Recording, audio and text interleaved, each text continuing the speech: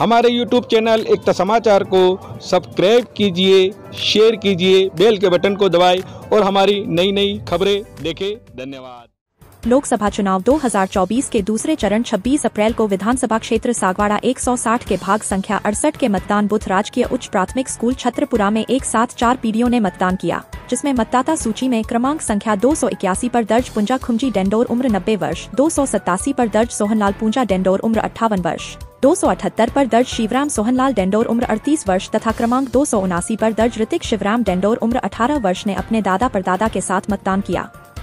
इस अवसर पर बीएलओ मोतीलाल मकवाना ने बताया कि पहली बार चार पीढ़ी ने एक साथ मतदान किया। मतदान हेतु परिवार में उत्साह नज़र आया। तैतीस से भी ज़्यादा परिवार ने एक साथ मतदान किया।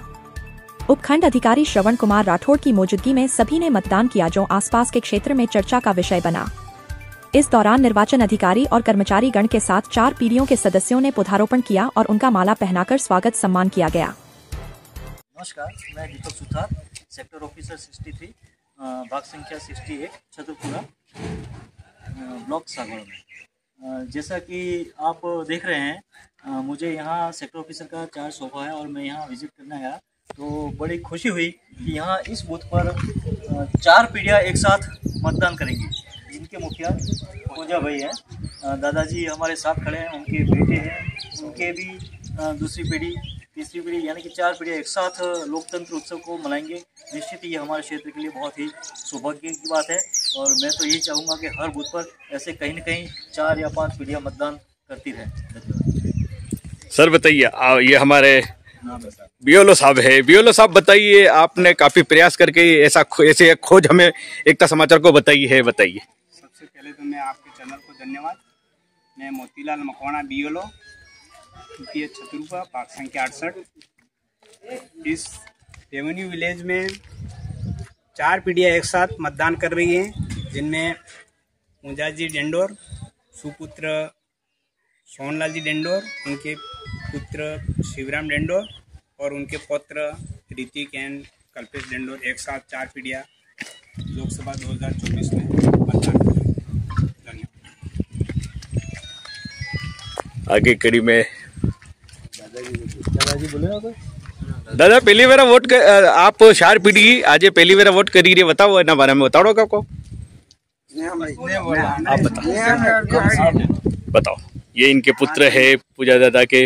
वैसा बताइए आज चार पीढ़ी बड़ी खुशी का दिन है और पूरे क्षेत्र में पूरे हिंदुस्तान में एक लोगों की नज़र आपके ऊपर है कि आज चार पीढ़ी एक साथ देखने को मिल रही है। बताइए म ये इस पूरे सागवाड़ा ब्लॉक में या राजस्थान ब्लॉक में सबसे चार पीढ़ी की हमें भगवान से ये प्रार्थना है कि हमारी चार पीढ़ी के बराबर हम पहली बार कर रहे हैं और आप सबको धन्यवाद। दूसरे इनके बेटे हैं, पहली पीढ़ी, दूसरी पीढ़ी, ये तीसरी पीढ़ी हमारे बीच है। वैसा बताइए, आज आपके परदादा, दादा पिताजी और आपके बेटे सभी आज मतदान कर रहे हैं बताइए इसके बारे में। सौभाग्य की बात है कि हमको हमको नसीब ऐसा मिला है कि हम चार पीढ़ी भाई एक साथ। एक साथ मतदान कर रही है। बड़े सौभाग्य की बात है हम नसीब हमारा नसीब इतना वो अच्छा है कि हमको ये चार पीढ़ियों के साथ मतदान करने मिल रहा है। ये युवा हमारे बीच है जो पहली बार मतदान कर रहे हैं। भैया पहली बार कर रहे हो आप मतदान? बताइए कैसा लग रहा है आपको? हाँ आज आपके पिताजी आपके दादाजी और परदादाजी एक साथ में खड़े हुए चार पीढ़ी बताइए इसके बारे में। क्या कहोगे? खुशी हो रही है। बहुत खुशी हुई पहले चैनल को धन्यवाद। मैं हम एक साथ चार पीढ़ी एक साथ मतदान कर रहे हैं। बहुत खुशी खुशी की बात है कि हम ये चाहते हैं कि अगर इसी तरह से चार की जगह पाँच पीढ़ी भी हो तो अच्छे से अच्छे मतदान हो और कोई भी सरकार बने अधिक से अधिक विकास होना चाहिए। सबसे ज़्यादा विकास शिक्षा पे होना चाहिए। आगे वाली पीढ़ी सबसे ज़्यादा ये कि अपने, हमारे बच्चे आगे से आगे बढ़े और पढ़े और कुछ न कुछ करे। ये धन्यवाद।